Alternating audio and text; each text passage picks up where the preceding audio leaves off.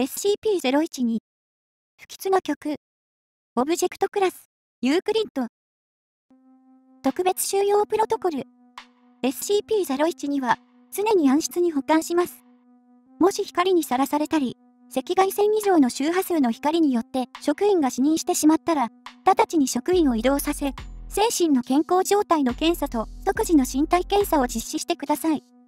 SCP-012 は、鋼鉄製の箱にしまい、床、壁、すべての入り口から2.5メートル以上離れた状態で天井から吊り下げます。説明。SCP-012 は、考古学者系 M サンドバルによって、イタリアの北部にある嵐で荒らされたばかりの墓から発掘されました。それは、ゴルゴタの丘と題された手書きの楽譜でした。未完のようであり、ある楽譜の一部分であると考えられます。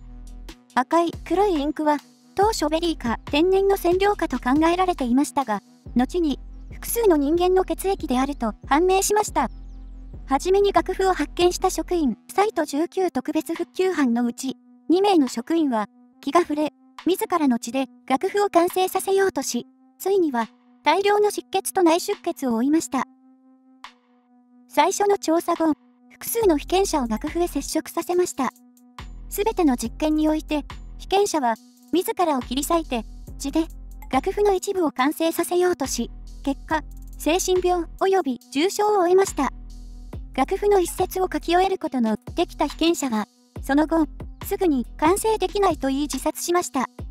音楽を演奏してみると、各楽器のパートは、他の楽器と全く関連なくハーモニーが生まれず、耳障りな不協和音が流れるだけでした。